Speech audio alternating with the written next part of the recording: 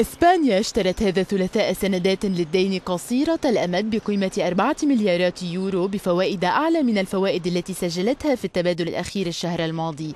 معدل الفوائد على سندات الدين لأجل ثلاثة أشهر بلغ 1.20% بعد أن كان 0.94%